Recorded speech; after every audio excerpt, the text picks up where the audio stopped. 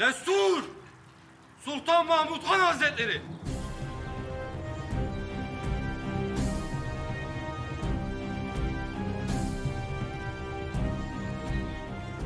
Hünkârım, Muallimemiz nerede? Geliyor hünkârım.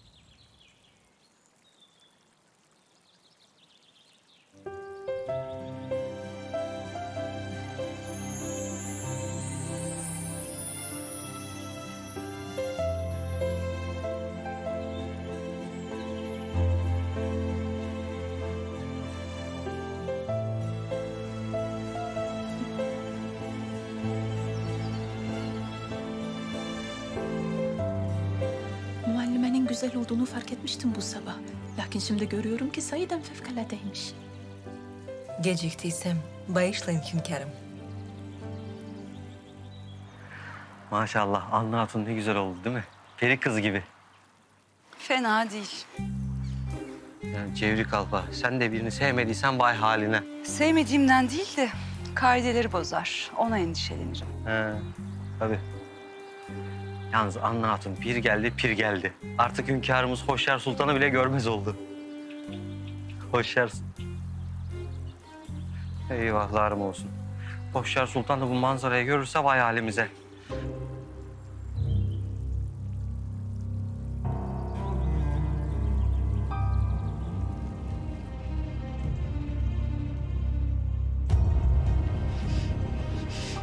Böyle fazla artık.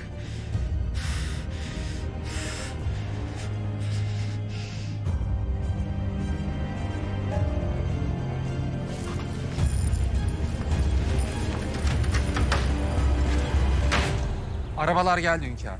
Hala. Hünkârım biraz heyecanlıyım. İlk kez bir davette katılıyorum sarayda. İyi hazırlanmak için elimden geleni yaptım.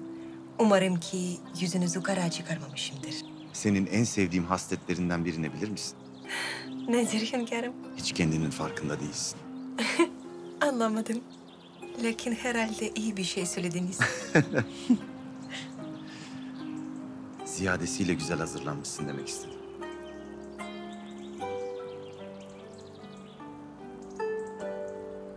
Buyurun.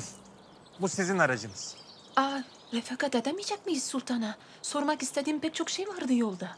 Tanuş'a yeri değil. Sizinle birlikte gideceğimizi ümit ediyordum da hünkârım. Kusura bakmayın. Kardeşim oldu olası içinden ne geçerse tartmadan söyleyiverir. Onu fark etmemek pek güç zaten. Mühim değil. Misafirlerimizi incitmeyelim. Bize eşlik etsinler. Suallerinizi ben de merak ediyorum.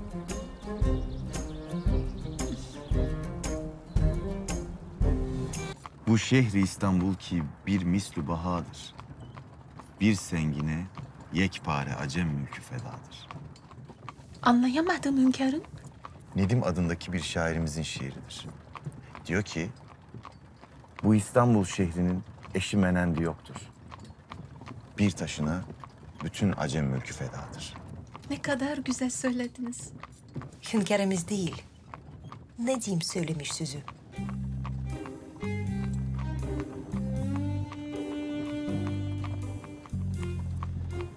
Sade biz şarkılar değil.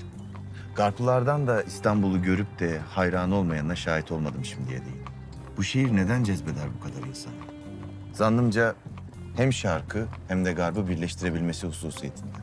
Pek haklısınız. O kadar güzel bir manzarası var ki. Ha, manzara baktığınız tarafta değil yalnız, diğer tarafta.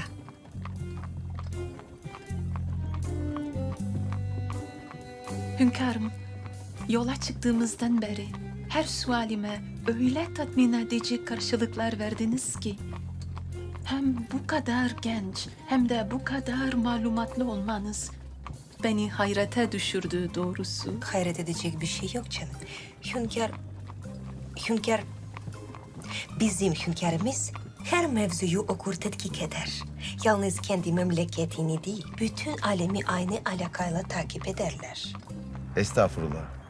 Muallimimiz mübalağa ediyor. Kaç gün kalacaksınız payitahtımızda? Maalesef iki gün. Çok şükür. yani demek istediğim iki gün az bir vakit tabii. Ama gene de çok şey görebilirsiniz. İmkan olsa bütün bu vaktimi padişahımızın yanında onun sohbetiyle geçirmek isterdim. Yok artık canım. Anne canım bir şey mi dediniz? Diyorum ki hünkârımız meşgul bir kimseydir. Öyle bütün vaktini size ayıramaz. Öyle değil mi hünkârım? Öyledir. Devlet idaresi, tebaanın emniyeti ve rahatını temin kolay değil. Anna, sizinle ne kadar gururlansak az. Memleketimizden çıkan bir muallimenin sultanın evlatlarına ders vermesi bizim için onur vericidir. Sağ olun.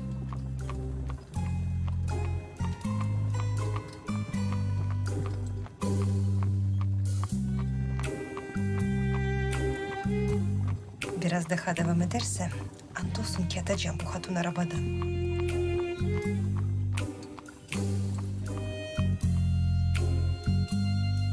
Geldik. Nihayet.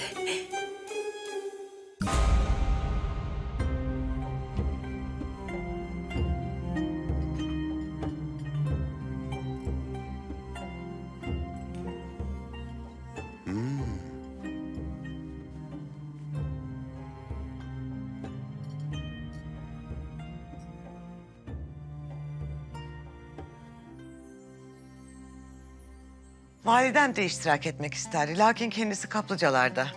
Döndüğünde pek teessüf edecek böyle güzel bir akşamı kaçırdığını. Temenni ederim yemeklerimiz damak tadınıza uygundur. Yemekler o kadar, nasıl desem, пальчики оближешь. Великолепно. Остановиться невозможно. Ah, lezzetli diyor yani. Kendimi tutmasam bayılana kadar yiyeceğim diyor. Çok sevindim. Afiyet olsun. Bizi bu gece burada ağırlamanız ne büyük incelik. Lakin kardeşiniz Sultan'la bu kadar yakın olmanız beni şaşırttı doğrusu. O neden? Nihayetinde siz de tahtın varisi değil misiniz? Bir nevi rakip sayılırsınız.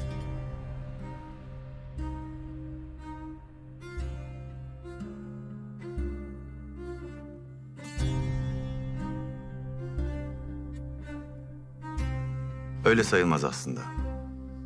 Kanunname-i Ali Osman ve Devlet Aliye'nin kadim teamülleri gereği hanedanımızın kadınları tahta çıkamazlar.